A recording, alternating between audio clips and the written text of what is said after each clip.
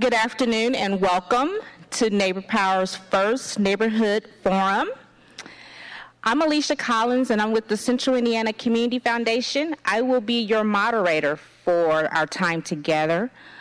Um, I would just like to first thank INRC for this first ever neighborhood forum, so give them a hand.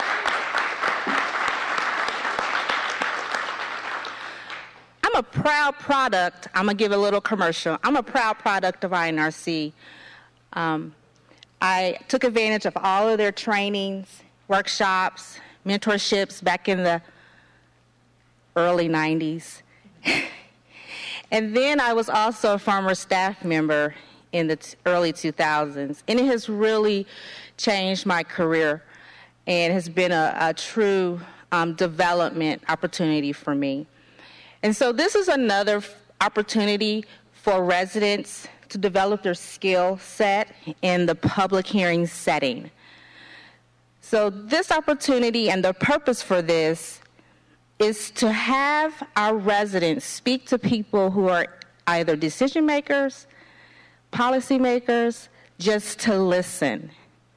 Our two topics are pre K education and the need to activate youth for positive change. This is an opportunity, again, just for our panelists up here, just to listen, but they can ask clarifying questions. Let me go over the process and the ground rules.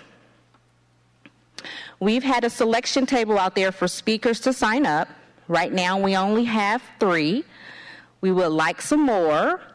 So, there would be, right now, we have one person for youth and two people for education.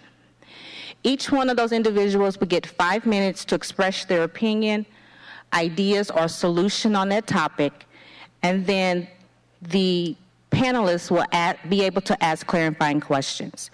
We have a buzzer down here that will manage our time, so you don't have to worry about it, and that's it. At this time, I will ask for each one of our guests up here to introduce themselves. You have one minute. Why did she start with you? This will be easy. I'm Rick Hite, Chief of Police, and I work for you.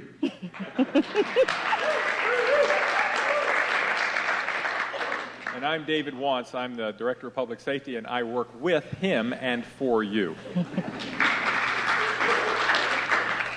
My name is Deborah Law. I'm the Deputy Prosecutor of Neighborhoods for the Marion County Prosecutor's Office, and I work in the Community Prosecution Division. I am Susan Smith, and I am a candidate for Council of District 12, which is on the east side near Community Hospital East. And I would love to be able to work with and for you. My name is Chuck Madden, and I'm a City Council uh, candidate for District 9. And I too want to advocate for you and my neighborhoods. And I'm Sally Spires. I am also a candidate for City County Council in District 17, which is basically the northeast corner of Center Township. I'm Kelly Bentley. I'm not a candidate for City County Council. Um, I serve on the IPS School Board representing District 3, and um, I'm a lifelong resident of Indianapolis and continue to enjoy serving you.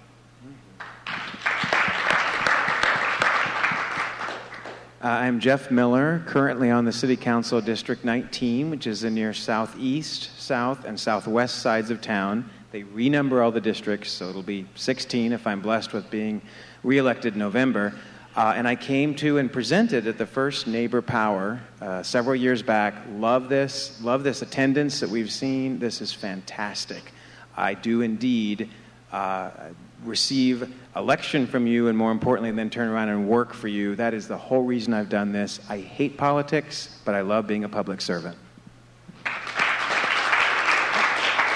Good afternoon. My name is Vop Osili. i'm a, currently a city county councilor in district 15 uh, which is uh, washington street to 30th street. Um, basically Alabama on the west, I mean on the east side, and Tibbs on the west. And I've had an amazing opportunity to work in our, in our communities, trying to reestablish opportunities for jobs, for those who are skilled, those who are unskilled, and most especially those individuals who've made bad choices in their lives um, and want a second chance. And I do believe that that is something that, that, that we all would support. Um, opportunities and opportunities for those who, who, who seek a better life. So I think that's what we all basically are up here for, just trying to make sure that our communities are strong and our households are, are, are fit and safe. So thank you.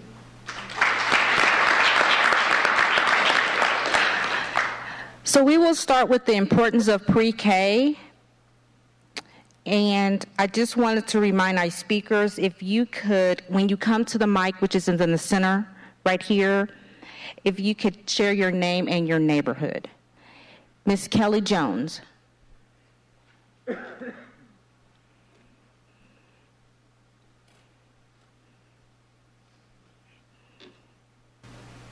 Hi, my name is Kelly Jones, and I'm the owner of Better Child Care and Healthcare Staffing for Quality Solutions. Um, we are in the neighborhood area in Emerson, um, on the southeast side where School 114 is. Oh, School 114? um, um, we're a fast quality local free in-home child care. We've been around since 2009. We are now a Department of Education approved on our way creating program. I have a vested interest in this community. My family has been in this community for 150 years. Um, and the importance of pre-K really envelops many things. Um, I, first off, it will make your job easier. Um, it is extremely important in the zero to five level of education to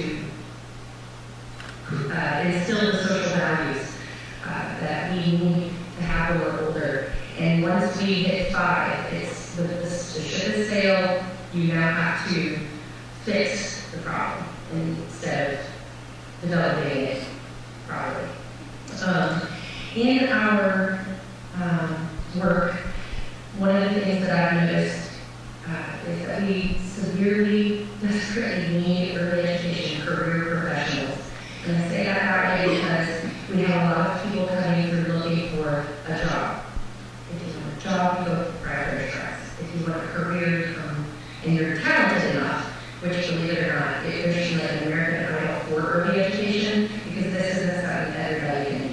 You have to know how to do it. Um, and you have to understand early education, brain development, social development, and disabilities, all of that, and that takes education. You cannot do it without it. Um, our profession has a 35% turnover rate.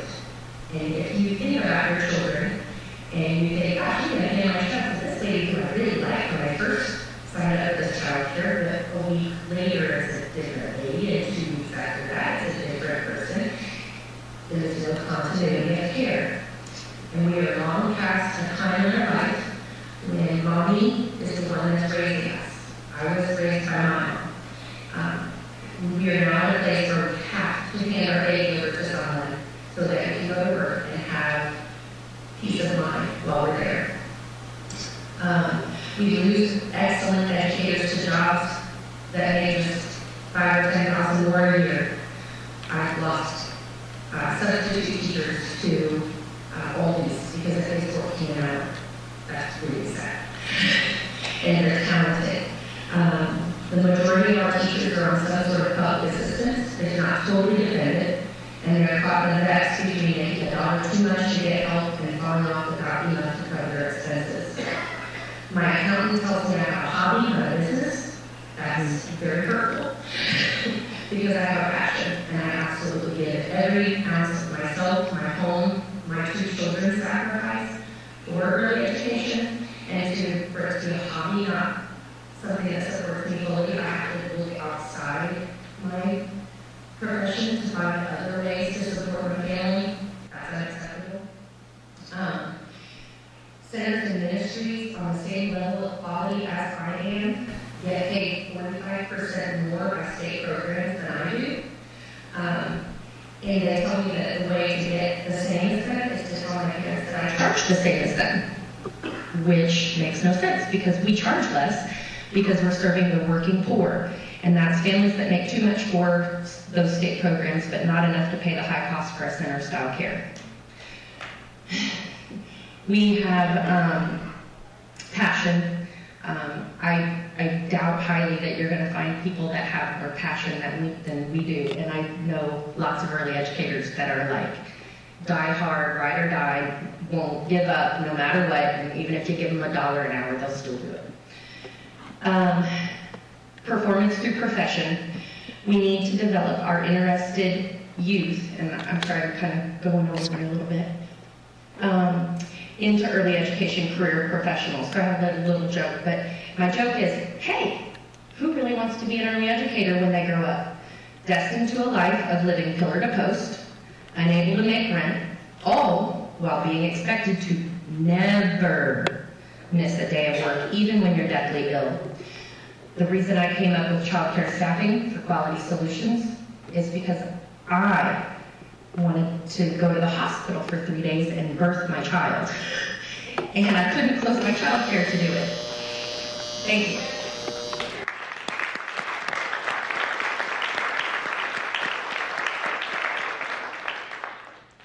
Thank you, Kelly.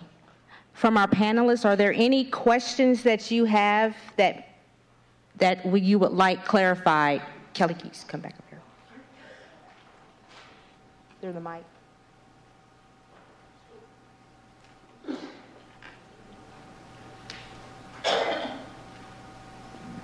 Is it possible uh, for you to use um, interns from the local colleges that are in early childhood development um, to participate in your program? That is totally possible. Um, however, they're also looking for paying jobs too, so it's very hard to depend on them 100%. So when when you want your child to go into their pre-K program or, or you know you younger, you need people that are going to be around for the whole school year, the whole time. Interns are awesome for the tidbits, for the little closing of the gaps, but we need people that are here for it, they're in it to win it kind of people. And there's long-term costs to that? Sorry. go, go, go, girl. Anyone that is working with the children has to have CPR, first aid, drug tested, background check, fingerprint. Fingerprint is $40 a pop for either them to pay for or the center to pay for. And when you have staff turnover of 35%, $40 a pop adds up. It costs us $250 to hire each of our substitute teachers. We pay for that cost up front, and then we try to get that back from them as long as they work per pay period at $25. So we're trying to cut that. The children per the state regulations that are protecting our babies once they have that. Right. Is it possible that you work with the universities so that a specific uh, program is developed in their curriculum so that um, the intern is a year? So I'm asking, have you worked with any of the universities that can specifically come we to have a that? higher education institution, uh, or not institution group where I work. I can't represent where I work, I won't say where I work. Um, but they, they have to do placements through their thing, and they get all that fingerprinting through them, but lots, sometimes those are even short term. Um, and then there's lots of their own issues going on with the field. So I've, I've also tried to develop that um, with one of our particular institutions, and it's just never quite clicked. It kind of needs to be a partnership between, I think, a couple of organizations to say, um, to make that a full year. I also think that um, what I'm trying to do as a company for childcare staffing is to give our um, people that are interested in early education, or at least have a talent for it, to develop them that way. Because if you think about nurses and doctors, you don't just throw a doctor into a exam room and say, "Hey, you're a doctor." That's what we're doing with early education. And aside from those few background checks and drug tests and things like that, that's unacceptable. Here, here's my most precious child.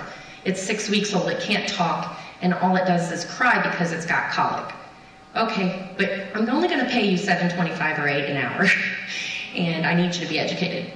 That just, then none of that adds up.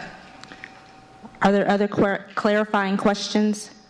One Yes. quick question. The, uh, the council's pre-K program, but I believe also the state's program, is tied to the United Way's Paths to Quality, which is trying to obviously improve the quality we're expecting from our pre-K providers. I'm wondering, do you think that can help create more demand? Not that you're, you are clearly a qualified pre-K provider, let me stress, but do you think by creating more demand for folks that are higher up on that scale of qualifications might turn around and increase the salary demands around that? I'm trying to think in my head how we can do that because you're right. You, no one's going to want to go in the field if they can't live off of it. Right. But if we keep pressing for higher quality, which does require a lot of the things you've said, maybe that helps. I'd be I- interested in your I- thought on that. Yes, I agree. And when one of the disparities that I find interesting is that I, I physically can't get from the state the same amount that a center would get for the same level of quality that I provide.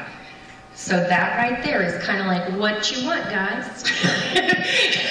I'm doing it. I've got my education. Um, my teachers have their education. I'm constantly looking for other ways to get that education going. My even my substitutes don't actually qualify for the the big scholarship that's out there is the Teach Scholarship, um, and there's like a tiny stipulation that just kind of puts us out of the running for that. But I, if I if I could say, hey, you're straight scholarship, you work with us, boom, you're going to have your early education degree. And the beauty of working with us is that you get to go here, here, here, here, and here, and you get all that experience to take to your permanent position. So that's what we really want to do, and that's what's best for the children, honestly. Great. Thank you, Kelly. See how easy that was? okay. We're going to move to activating youth. I'm sorry. Oh, comfort. Sorry. Go ahead. We have a question from uh, Councilor Osili. You would ask about the, or you had mentioned the 35% turnover. And um, I wanted to know if that was industry wide and what you believe that, uh, or what you learned. They were leaving to go to what? Were they leaving the profession entirely? building other professions. They're not staying in their education, or they go up levels. So they'll go to kindergarten first grade, which is great. But our level has to have better quality, and it has to have educated people. And we can't get them with eight, nine, and ten an hour. It isn't happening. The average salary of a childcare teacher in Indiana is $19,000. It's a fact, too. My office does a study each year, a workforce study. I'm Beth Riedemann. I represent Community Heights. I also am a professional development advisor for childcare um, employees. I oversee a non-formal training program for teachers who maybe didn't succeed very well in high school and but now need a CDA, which is the minimum requirement for a teacher. Um, and which is that too, it's a credential. It's four classes at Ivy Tech. That's all you need to be a teacher in an early child care program. Um, and the average salary is $19,000. I got into this field because I started working with middle schoolers, and I was like, we got to get them sooner. And then I was like, I started working with elementary kids. Oh my God, we got to get them sooner. And then I had my own child, and I so I ended up in ECE partially too because I couldn't afford childcare, working in the field, working in a nonprofit, and having a child. Um, and so I was an assistant director of a for-profit large chain of child cares and was on food stamps and childcare vouchers. Um, and I was the second person in charge. Um, and so I have a deep passion for it because I know what my child's teachers now go through. He's two. I've been in their shoes. I speak to these students that are in my classes that are the teachers, and I say, I understand. I've been on food stamps. I'm a single mom. I've been on WIC. I get it. Um, but it's a reality. The turnover is huge. Um, the QRIS system, which is not the United Ways, the state runs it. Um, sorry, I had the clarification. But um, and we level three and level four is what we consider high quality. Um, that's what the state has considered high quality. Um, that's what On, Way Pre- On My Way Pre-K funds. If you're not familiar with On My Way Pre-K, it's five counties, there's a pilot, and then Indianapolis added on to it with extra slots. Um, and that is an amazing program. Um, what we need to be careful of is pushing people through to level three and four just so we have more slots. Um, because I've, I've seen product of that in person when I go to visit to find out. When I moved to the east side, I needed to find a quality childcare. I started with level threes and fours, and I said, how are you a level three and a level four? Um, and then to piggyback on some of the things she said too, uh, the education is only possible, you- it's only required to have a CDA, first of all. That's just a credential, and you can only afford to do those classes if you're a full-time employee, 30 hours or more. Um, If you work for at one single place. Um, and so, for example, if you work for a YMCA, you work at 29.5 hours because they don't want to be able to have to provide you insurance, so they work you 30 hours a week. So, a lot of teachers are automatically not able to further their education. Um, and so I just, I wanted to speak last just because I have some of the data and stuff and any questions I guess you may have for me. But I just think it's, when I moved to the Near East Side, I, um, I'm actually outside on the East Side. There is deserts of qual- high quality childcare. There are not very many high quality childcares on the East Side. Um, we have Daystar and we have East 10th, but I have to drive to go to those. They're not in my neighborhood. Um, there is a black hole somewhat um, in our area of level threes and fours where I live, and that I think happens throughout the city. And I think um, Early Learning Indiana saw that. That's why they reopened um, Eastern Stars Center, but it's only for three year olds and up. So um, there's definitely gaps in our care, and there's definitely it's sad when you're, you know, your childcare teachers is probably a lot of the women's, it's mostly women, it's not all women, but most of them stay in the field because A, they do love the babies, but B, they can't afford to go anywhere else because they couldn't afford childcare any, if they went anywhere else because they're getting discounted childcare the majority of the time at where they work. So, that's about it. Thank you. Any additional questions from our panel? Okay, thank you. Okay, we're going to move on to our next topic activating youth for positive change. And we have Mr. Sobeko Jawanza.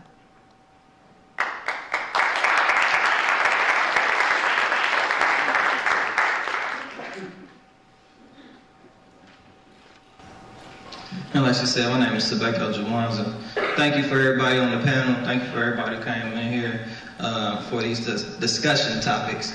I'm representing the neighborhood of Hallville. I'm also part of a mentor program that goes directly into the juvenile center and has those that are on probation come to our classes. Uh, so I've been doing a lot of work over the past couple of years with trying to get youth engaged in terms of critical thinking, understanding where they're at, what they're doing, how that affects them. Um, I have a question. One about the term at risk and how we use that term in terms of, uh, you know, it kind of seems like it's a uh, income level type thing, um, also based on certain habits that they have. And so when we use that term saying that these kids are at risk, what are we really giving them in terms of a message? When we really should probably be saying that we are at risk if we don't do anything to help them.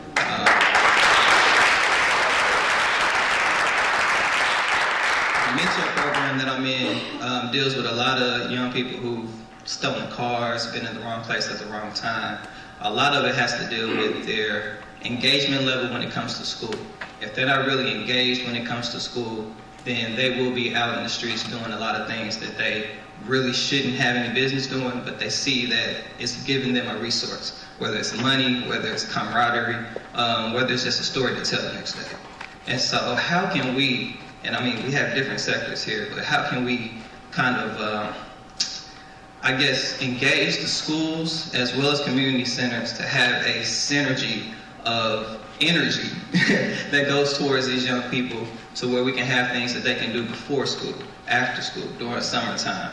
Um, things that we can work together, not just different organizations doing different things and they can only serve five or ten people, but actually having something to where all the schools, township, IPS, anything like that, as well as community businesses can come together and kind of give these young people opportunities to at least learn different things that they can do and the way that it works out um, in their lives. Because if they see their parents who went to college or went to school and are struggling right now to get them the things that they want, it's not going to be very attractive to them. When you're a young person, nothing in adulthood except for doing what you want to do is attractive.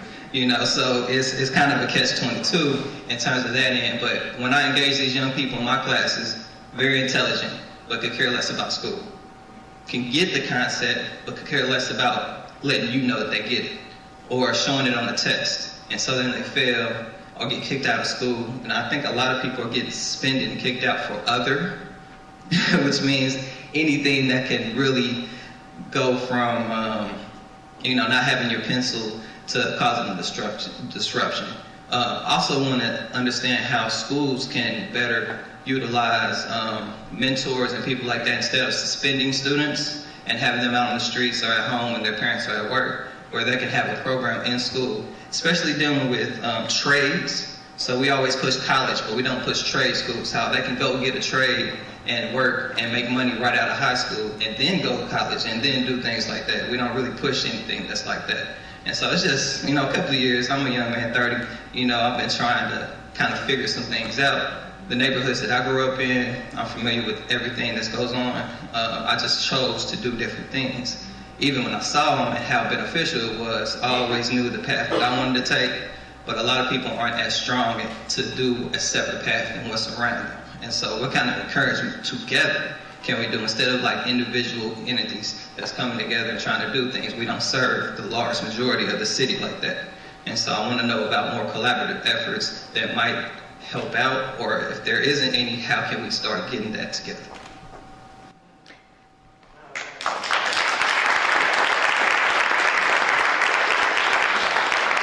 So let me remind the panel that they are not to respond to the question that he's posing, but to ask clarifying questions to gain more information and understanding of his opinion.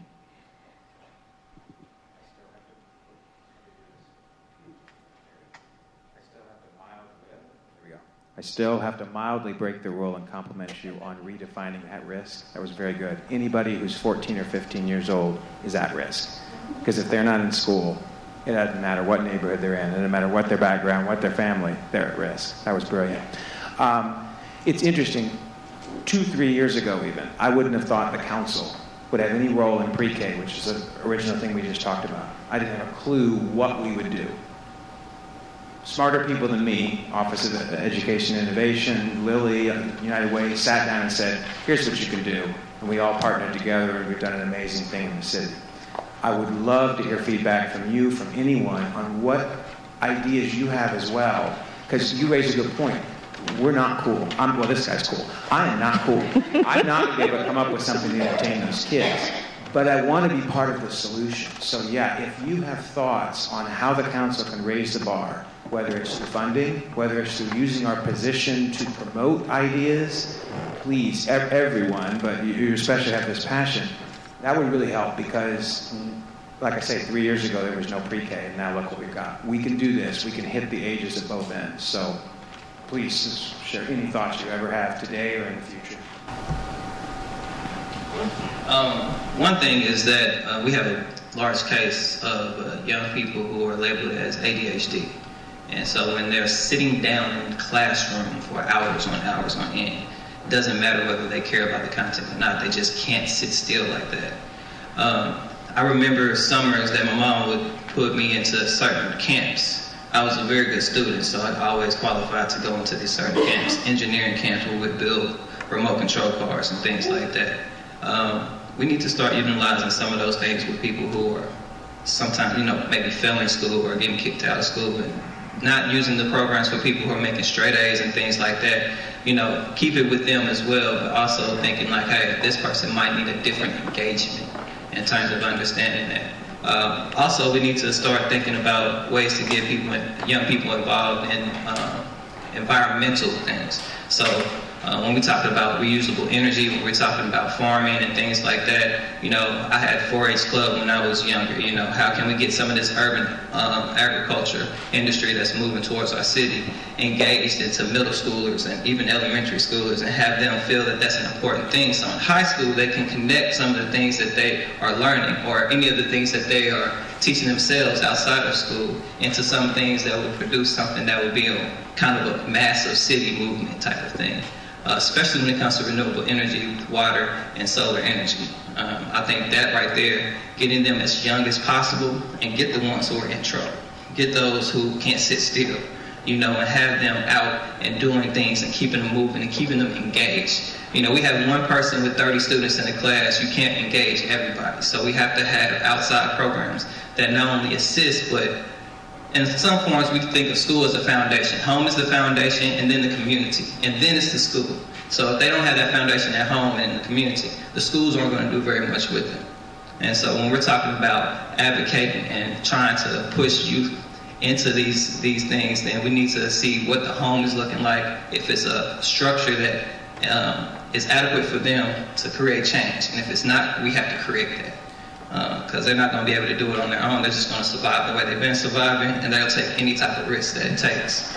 You know, so you got young people, 12, 13 years old, that have about two, three thousand dollars in their pocket. You can't tell them anything. They have more money in their pocket than their parents. So until we can show them, you know, certain things. Hey, you want a remote control car? I'll show you how to build it. You know, something like that.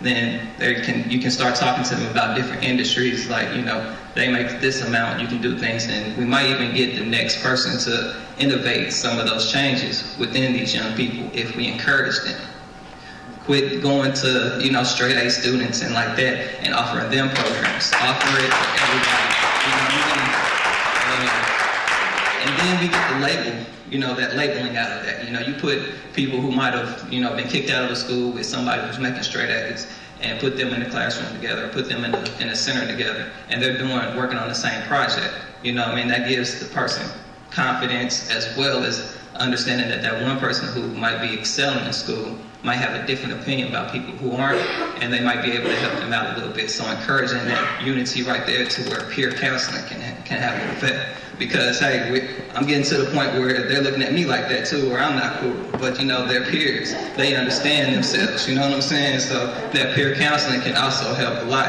and take a lot of weight off our shoulders. You know.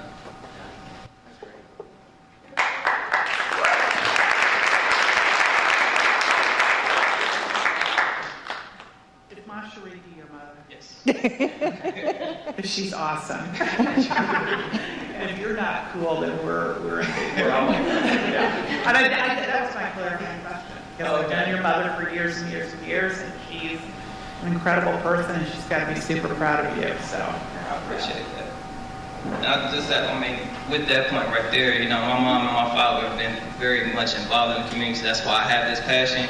But it wasn't just those two. If it was just up to them in terms of where I got what I got, I would have been on another path. It was a group of people, including them, that I respected and that I looked up to. So, you know, we have to kind of keep that in mind that just because somebody has two parents in the household, that means nothing. You know, you have to have that community base. Do you think um, changing the way that we educate uh, children and making it not so generic, that it incorporates uh, maybe what they're good at with mathematics or what they're good at with reading and English so that they can keep interested in, in that, in, in that uh, those required courses? So I'm a college graduate. I went to Florida A&M University for business administration. Ever since I was in preschool up until my college years, there's always been kind of a basic of sitting in the classroom, teacher up front, they give you a syllabus. So they're telling you what they're going to teach you throughout the, the year. We don't engage the students in terms of understanding what they know about the subject first and what they would like to learn and incorporating the syllabus to what their needs are in the, in the classroom so that they are engaged a little bit more. If you're talking about history, and you're talking about the American Revolutionary War and things like that, and you just kind of throw out a name and say, okay, do a report about them, that's fine. But if you kind of find out the interest of the students a little bit more, and then assign certain reports based off of their interests, I think you'll see more of an engagement. And then you get to see kind of connections so they understand how their interest matches up with someone else's interest. It also needs to definitely be a very clear, like PE and science experiments and things like that, more hands-on has to happen. Um, we have a lot of people who are probably getting suspended because they're just bored. And it's not that they can't do the work, but they're not engaged enough. And one teacher with 30 students, one teacher with 50 students, you know, it's not going to work out like that. You know, they're trying to do as simple as a job. So you're right, it's generic. And we expect everybody to excel with generic work. But, you know, think about LeBron James. He didn't just go to any other basketball camps. You know, he kind of went to the best ones and they saw his talent. But if a mediocre player were to go to the same camps, that would increase their talents and make them better and make them better. And so we kind of have to think about on an individual basis. I know it's thousands and thousands of students, but if we're trying to make a difference, generic's not going to work. It has to be individualized.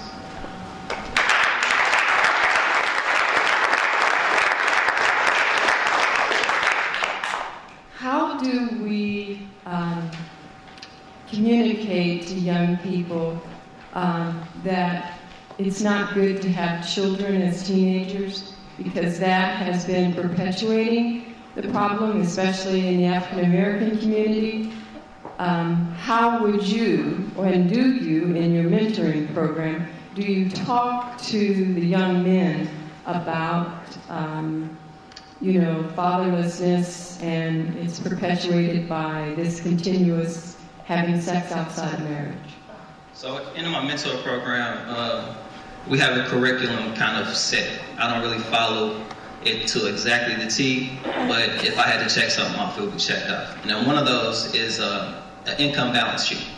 And we give out what, how much rent, electricity, pretty much to do bills. And these young people are like, kind of like, okay, I don't get it. You know what I mean? I have to tell them, go home, ask their parents, and then come bring it back so you understand how much you have to make in order to survive. I think one of the same things can happen when it comes to um, early parenthood. I mean, when you have um, individuals and institutions that need people to come and help them out, especially with early childhood care, um, if we can set up something to where these students can go and find out what it's like to have a baby 24-7. You know, I mean, or a certain amount of time. Don't just go to your auntie's house and pick them up for two hours and then you leave out. You know, if we have kind of things that actually pinpoint what it's really like to be a parent and how, you know, no, you can't go out on Saturday nights all the time. You're not going to be able to do certain things as a young person.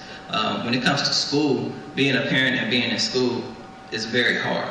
And so if you want to do further education, it's easier if you have that time that you don't have if you have a child. So kind of emphasizing some of the things in terms of their goals and what they want to do and what they would have to sacrifice for their goals if they end up becoming pregnant or becoming a father at an early age. Also, let, I mean, and I don't know if we can talk about that in school, but I mean, I don't think anybody, I always ask this question, what is the reason for sex? And a lot of my guys say, you know what I'm saying, it's to have fun, you know what I'm saying, to get off type of things, you know. And I'm like, no, it's for reproduction, it's to have a baby. And they kind of think about like, oh, yeah, that is the reason. We're not having these conversations because we're kind of scared to approach them with that type of thing. Don't be afraid of the graphic nature that some of these young people might have when it comes to sex, you know what I'm saying? Engage them and challenging them find out how much it costs for uh, a baby to have diapers throughout the year and let them know that right there and there, you know, and they're like, look, this is what you're looking at and this is just diapers. you know I'm saying? We're not talking about food, we're not talking about healthcare. So making it very plain and simple, like treating these 13 and 14 year olds like you're talking to a 30 year old who's about to have a baby. You know what I mean? We don't do that. We kind of sugarcoat it and they know we're sugarcoating it. And so they're just gonna go ahead and have fun and do those type of things, you know, so that could be some things that have, that's what I do. I try to make it very plain and simple, like, it's money. You know, you're gonna have to have this type of money and this type of time if you wanna have a child. And you talking about you wanna have fun, you talking about you wanna do this and that. You're not gonna be able to do it as easily, you know, and all you have to do is take some simple steps in order to prevent certain things from happening. You have to sometimes dig deeper to reasoning behind too. I had a seventh mm-hmm. grader when I worked with middle schoolers who wanted a baby because to her that was unconditional love and it's developmentally appropriate makes mm-hmm. sense. No one in her life loved her. A baby was going to need her and love her. So she wanted to be pregnant so that someone would love her.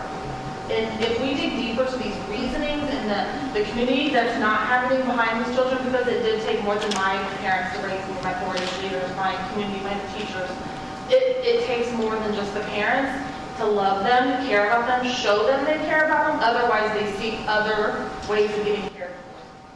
Thank you. We have, thank you, Sabeko. We have time for one more. We have time for one more. I think this gentleman is approaching. Oh, I'm sorry. Okay, sorry.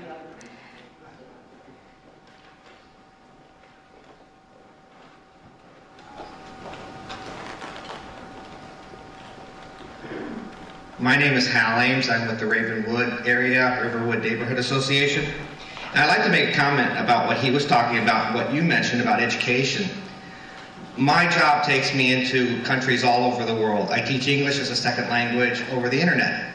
I do that full time. So I'm talking to people in Asia and Europe, and their model is a little different than ours. At about 13 years of age, they take a test to find out what they're good at.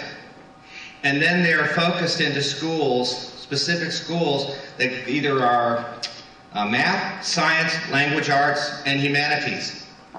So they find their interests. It's not so generic. So that may be a model that we need to be considering here in the United States.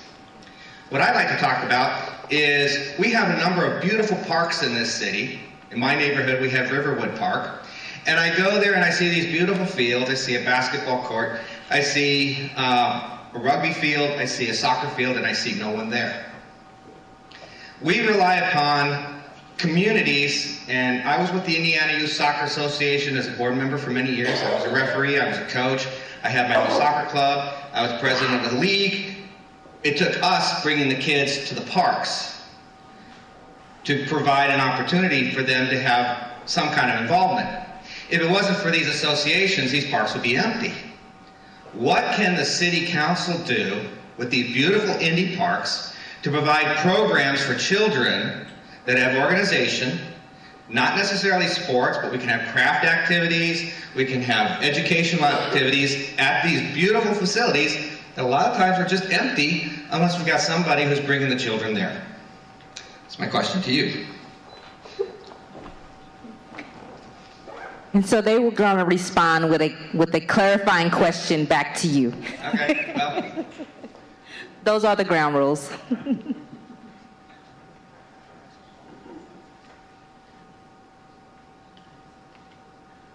Uh, that's a small one, and uh, about this one as well. Um, I know that I was surprised at some of the programming at some of the parks in my own district. Uh, I got a flyer once to send out to my district, and they said, "Hey, could you, you know, send this out, let everybody know?" And I opened it up first, and I'm like, "Oh my goodness, all of this is going on in my park."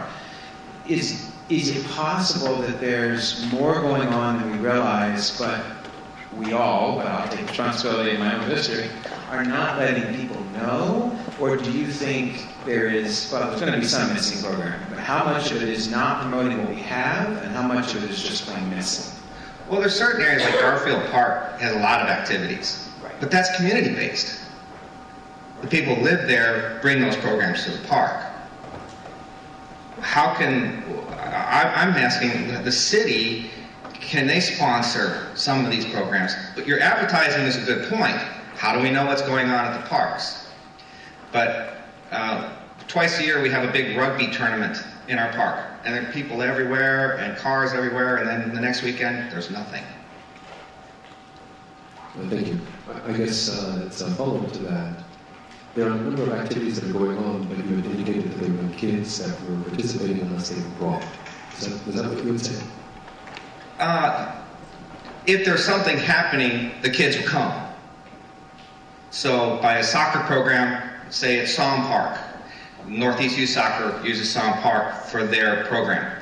They bring the kids, they organize everything, they take care of the goals and, and everything.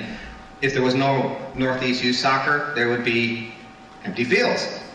So these are community-based things that are using these parks. Can they be better utilized by the city promoting projects and fairs and events for the community that these children can become involved with? It's all now, and, and the neighborhoods are willing to do it. There, there are neighborhoods who are doing it. But what can our city, who owns these parks, do to motivate it? For a soccer club to use a park, they have to file a permit, and they, there's, a, there's a process they have to go through to get permission to use the park. I understand that. That's good. But if they're not there, like my park is empty most of the time. There are kids playing in the water park. There are three or four kids playing basketball. What if there was a mentor there that would say, hey guys, let me show you a few things? Or if we had maybe a, somebody from Indy 11 come out and say, I'm going to put on a soccer clinic. Come on down. You know, little doesn't take much. The kids will come if the program's there. How do we get more programs? And I think it goes back to wherever you went. Getting the kids involved, finding their skills. Thank you. Are there any closing questions from the conversation today from our panelists? Nope. Our comments? I'm sorry? Beginning where the gentleman left off, that uh, at the end of his comment about open spaces, uh, we're a firm believer in open spaces and safe places for our young people in our community, but we have to create the value we want to see. And I think the missing element usually are the people who really could create element, young people, and having a conversation about what they really want to see, uh, whether it's school, uh, when they go to school, what they expect to see in terms of curriculum, and how we mirror school back to community. Aftercare, after school, between four and seven, is a challenge. The other part of it, I think, is understanding the issue when it comes down to, again, open space and how we, once upon a time, without looking around the room, it was understood what it was to go to a center or a place and spend time there. The question is, do our ch- children use that today? They're more electronic savvy, and, and what does the term mean to go out and play? Or find things to do. But means go, go pick up your, uh, smartphone and, and have at it. So I guess we have to have a real conversation about, about uh, expectations and understanding that. And lastly, I think the other part of it is looking at the uh, the preschool issue. I, I think it's important to know we, we, the law enforcement, to recognize and see it when we were respond to homes, how children are advancing. And sometimes they're more sophisticated than their parents. And by the time they're seven years old, many of them are more sophisticated in some ways in the way they operate. So we have to be willing to sit down with you and hope this dialogue continues, allowing us to continue to hear from you. But we'd like to give you some feedback at some point, maybe have more, well, uh, I mean, come away with some takeaways we can work on as, as, a, as a team. Thank you. Thank you. So we've reached the end of our time together. I want you again to give yourselves a round of applause for participating in our first neighborhood forum.